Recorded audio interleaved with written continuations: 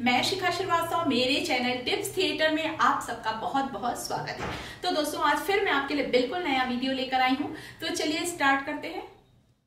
दोस्तों, आज मैं आपके साथ गुलाब जामुन बनाने का बहुत ही आसान तरीका शेयर कर रही हूँ। तो यहाँ पर मैंने एक बड़ा कटोरा शक्कर ली है। आप देख रहे हैं जो मेजरिंग कप होता है, उससे मैंने यहाँ पर 300 ग्राम के करीब मैंने शक्कर ली है। और जितनी शक्कर है, उसका डबल आपको पानी डालना है। एक कप शक्कर लेंगे तो आप दो कप इसमें पानी डालेंगे। और बस, इस बर्तन को मैंने गैस के ऊपर रख दिया है और इसकी हमें एक तार की चाशनी बनाना है। शक्कर अच्छी तरह से पिघल चुकी है। आप देख सकते हैं, मैंने एक बड़ा चम्मच इसमें दूध डाला है। दूध जैसे ही हम चाशनी में डालते हैं, शक्कर में जो भी मैल होता है, वो अपने आप ही ऊपर ऊपर आ जाता है। अभी आप देखिएगा, ये देखें। मुश्किल से एक मिनट में ही जो भी मैल है आपको ऊपर ऊपर दिखाई देने लगेगा। बस उसे आप चम्मच की सहायता से धीरे से निकाल लें, ताकि हमारी जो चाशनी है बिल्कुल ट्रांसपेरेंट सी बने। बिल्कुल भी उसमें इस तरह का मैलपना ना हो। तो जितना भी मुझे ऐसा लगा कि जो भी ऊपर इसमें मैल दिख रहा था चाशनी में निकाल लिया और बिल्कुल हमारी चाशनी तैयार है। एक तार की चाशनी बनाना है। यहाँ पर मैंने आधा किलो खोआ लिया है। वैसे तो मैंने शॉप में गुलाब जामुन का खोआ बोलकर ही लिया है। गुलाब जामुन का जो खोआ होता है दोस्तों, उसमें घी की मात्रा कम होती है। तो बस ये गुलाब जामुन वाला जो खोआ है आपको किसी भी डेयरी में मिल जाएगा। और अब तो त्यौहार का सीज़न आ रहा है, खोआ बहुत अच्छा आपको मार्केट में मिल जाएगा। इसे ग्रेटर की मदद से ग्रेट करना आप देख रहे हैं। मैंने यहाँ पर एक ग्रेटर लिया है।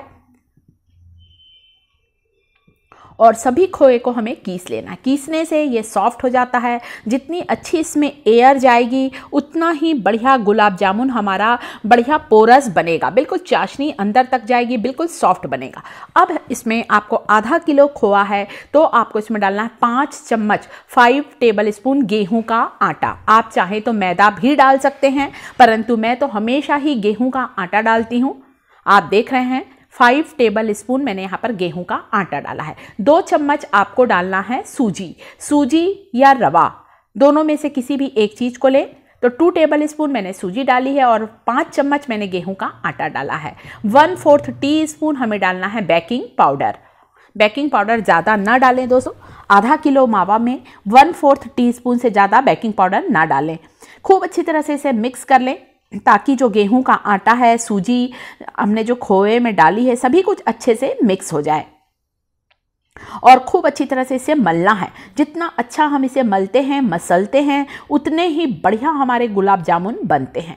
और इधर चाशनी आप देख सकते हैं, एक बार मैंने चाशनी को भी हिला लिया है। और चाशनी बिल्कुल तैयार है। एक तार की चाशनी रखें और चाशनी को उतार दिया है मैंने गैस से। और गुलाब जामुन बनाने का ये जो हमारा मटेरियल है, इसे मैं खूब अच्छी तरह से हाथों से मसल रही हूँ। कम से कम तीन से चार मिनट तक आप इसे बढ़िया अच्छी तरह से मसल लें। जैसे हम चपाती का आटा करते हैं, बिल्कुल नरम नरम वैसे ही नरम आटा होना चाहिए। हथेली से मैं इस तरह से इसे मसलती जा रही हूँ, आप देख रहे हैं। जितना बढ़िया इसे आप मसलेंगे, उतने ही नरम नरम हमारे गुलाब जामुन बनने वाले हैं। तो सभी चीज़ें आपस में बढ़िया मिक्स हो गई हैं और ये बिल्कुल ही जो डो है, वो बिल्कुल ही सॉफ्ट हो गया है। आप एक बार दोस्तों इस तरह से गुलाब जामुन बना कर देखें, यकीन मानिए आपको बड़ा ही मज़ा आएगा और बहुत ही अच्छे गुलाब जामुन बनेंगे। तो बस मैंने इस तरह से इसकी लोइयाँ कर ली है दोस्तों। आप चाहें तो गोल शेप का भी बनाएँ, परंतु कभी कभी मैं इस तरह से लंबे शेप का, सिलेंड्रिकल शेप का भी बनाती हूँ। बस छोटी छोटी सी आपको लोई को लेना है और लोई को इस तरह से गोल करें और लंबा करें।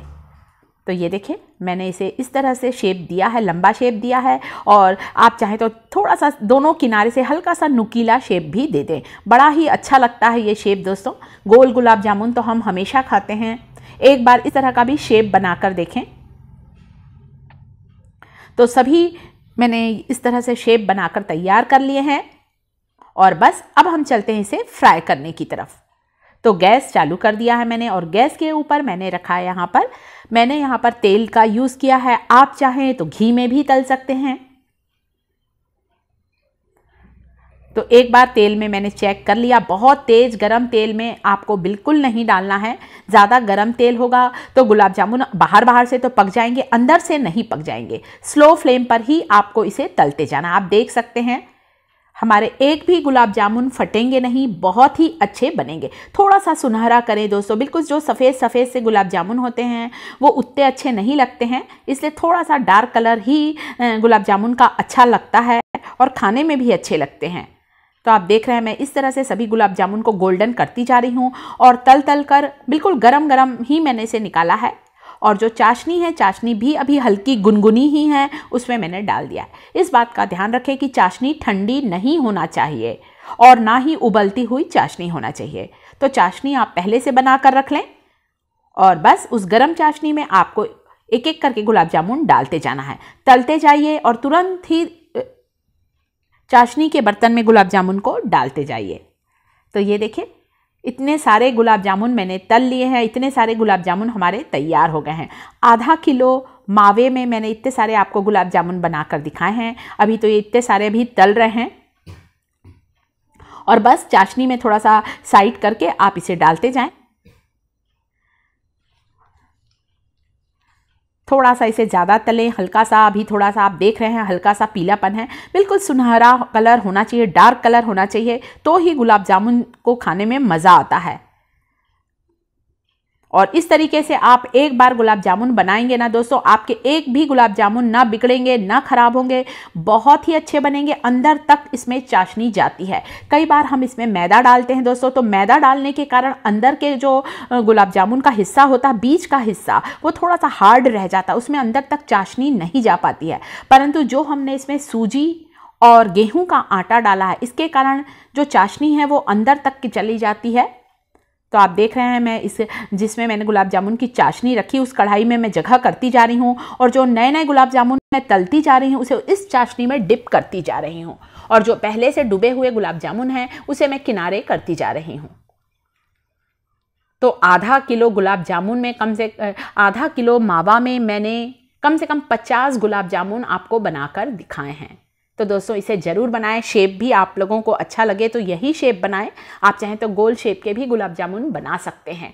और इसे बनाने में, पूरी तैयारी करने में मात्र मुझे 20 मिनट का टाइम लगा है और इतने अच्छे गुलाब जामुन तैयार हो गए हैं। तो ये देखिए, आपको सर्व करके दिखा रही हूँ। थोड़े से पिस्ते और बारीक कटे हुए बादाम से मैंने इसे गार्निश किया है। आप चाहें तो थोड़ा सा हरी इलायची का पाउडर भी डाल सकते हैं। और ये बाकी के गुलाब जामुन इससे मैं गार्निश नहीं कर रही हूँ। इसे सर्व करते समय ही आप बादाम और पिस्ता, कुछ भी ड्राई फ्रूट डालें। तो ये तरीका है गेहूँ के आटे से गुलाब जामुन को बनाने का। ये देखिए, अंदर से मैं आपको इसे काट कर दिखा रही हूँ। बिल्कुल अंदर तक के इसमें चाशनी गई है, बिल्कुल ही नरम गुलाब जामुन बने हैं। तो इस रेसिपी को ज़रूर ट्राई करें दोस्तों। वीडियो अच्छा लगा हो तो आपको करना है लाइक, साथ ही साथ मेरे चैनल टिप्स थिएटर को यदि सब्सक्राइब नहीं किया तो प्लीज़ सब्सक्राइब ज़रूर करें, साथ ही कमेंट करके ज़रूर बताएँ कि मेरा ये वीडियो आप लोगों को कैसा